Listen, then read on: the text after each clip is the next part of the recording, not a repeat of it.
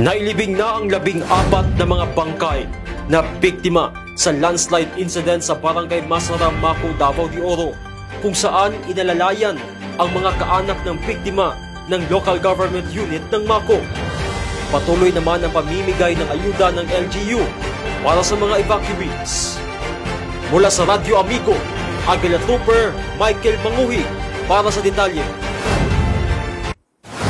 Sa kabila ng matinding sikat ng araw tanghaling tapat noong araw ng mga puso, Pebrero 14, ay bumuhos naman ang luha at paghinagpis ng mga magulang, kaanak at mga kaibigan matapos maihatid sa huling hantungan ang labi ng labing pitong taong gulang na si Chad Lawrence Pitugo, isa sa mga namatay sa nangyaring landslide sa Zone 1, Barangay Masara sa bayan ng Mako, Davao de Oro. Ayon kay Bibilinda Pitugo, ina ni Chad, nagpaalam ang kanyang anak na mag-charge ng kanyang cellphone sa simbahan ng Masara dahil walang kuryente sa kanilang bahay sa barangay Mainit. Hanggang nakatanggap na lamang si Bibilinda ng balita sa nangyaring landslide sa Zone 1 Masara kung saan isa si Chad sa natabunan ng lupa.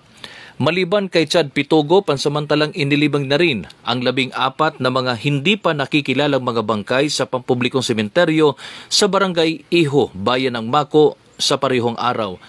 Kasama sa paglilibing ang mga personahe ng National Bureau of Investigation Disaster Victim Identification Unit, mga opisyal ng lokal ng pamahalaan ng Mako sa pagpanguna ni Mayor Carlos Volter Rimando. Bago ang libing, isinailalim ng NBI sa post-mortem examination ng mga bangkay para sa kanilang pagkakakilanlan matapos ang 72 oras na walang mga kaanak na nag-claim sa bangkay. Kinuna na kaagad ito ng DNA testing at tagging sa kapansamantalang inilibing.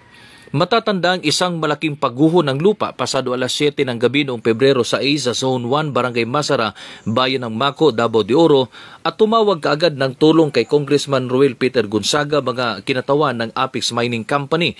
Dahil dito, agad namang tinawagan ng kongresista si Tin Offers the Brigade Commander Brigadier General Ronnie Babak na agad namang nagpadala ng kasundaluhan mula sa 25th Infantry Fireball Battalion at maging ng mga tauhan ng Emergency Response Company ng 10th Infantry Aguila Division, Philippine Army.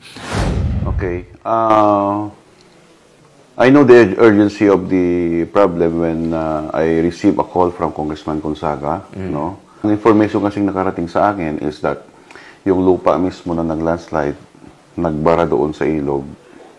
So naturally magkaroon ng uh, instant dam doon. Oh. Accordingly, uh, nung gabi na yon, the uh, personnel no, of the 25th IB, 10th First Brigade, and the Emergency Response Company coming from our division headquarters okay. under kay aming napaka ano, snappy na Brigade Division Commander General Hambala ay nakapag-evacuate sila ng 800 na residents sa dalawang barangay. Laking tuwa naman ng mga nailikas na mga residente dahil hindi sila pinabayaan ng pamahalaan ng probinsya, munisipyo at maging ng barangay at agad silang inasikaso sa kanilang mga pangangailangan gaya ng masisilungan, pagkain at mga gamot at marami pang iba.